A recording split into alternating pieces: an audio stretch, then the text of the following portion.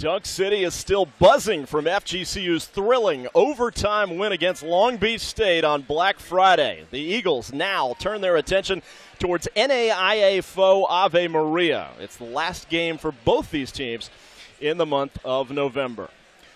Welcome inside Alico Arena. We're live on ESPN3. I'm Tom James. He's J. Webb Horton. Tough to know who to key on, J. Webb, if you're playing FGCU. Zach Johnson had the big night against Long Beach State, but it was Christian Terrell who snuck out of the shadows at the end for the game winner. Maybe a case of pick your poison defensively tonight for Ave Maria. Well, poison kills, and you so when you're picking poison at FGCU, that's what happens when you have depth. So a lot of players. Zach led the team. Terrell finished it.